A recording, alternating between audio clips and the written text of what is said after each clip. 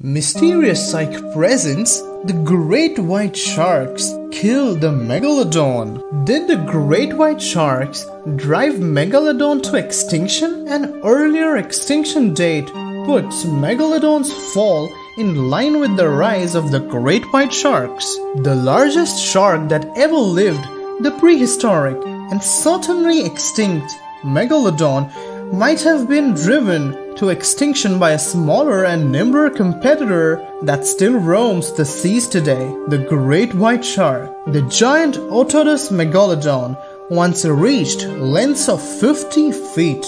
While not the only large shark to swim ancient seas, it was the biggest and has grabbed modern imagination. The fixation on the beast springs from a strong foundation, Megalodon's jaws could open wide enough to swallow two adults standing side by side, writes Josh Davis for the Natural History Museum in London, United Kingdom.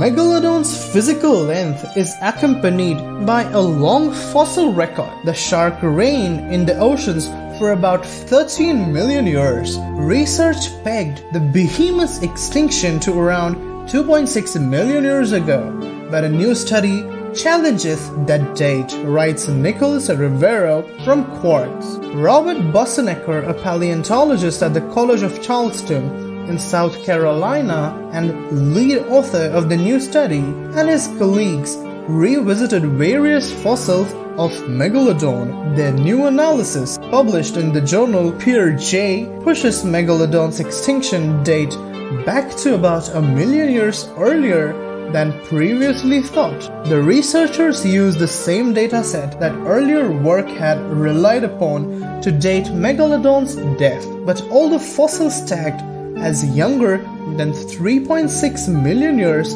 had problems.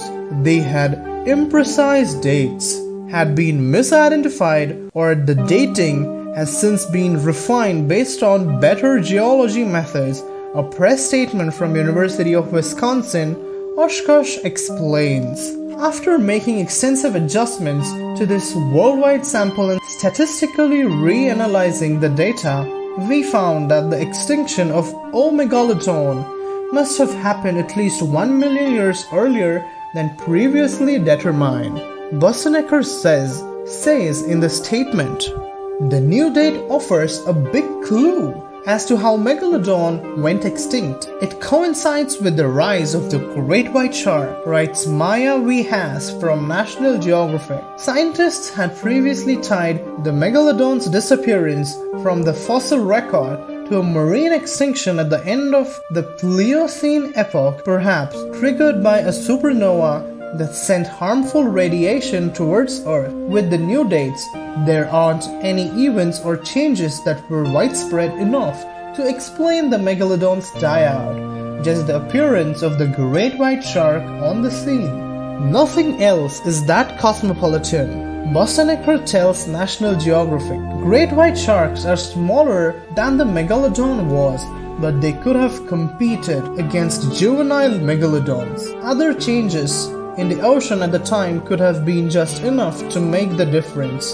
The megalodon was dealing with dwindling populations of the small whales they ate and shrinking into smaller, more fragmented populations, writes Melissa Cristina from Forbes. Under those threats, the appearance of the great white shark spelled the larger predator's doom. The great white shark has to survive about 10 million warriors to beat Megalodon's record. But from a more inclusive point of view, both creatures can enjoy a reputation of adaptive success. All sorts of sharks have roamed the world's oceans for more than 350 million years. What's a little squabbling among species against that impressive records? Are you aware of any more facts about the megalodons and the great white sharks? If so, please comment down below. Don't forget to click on the like button and please share our video with your friends.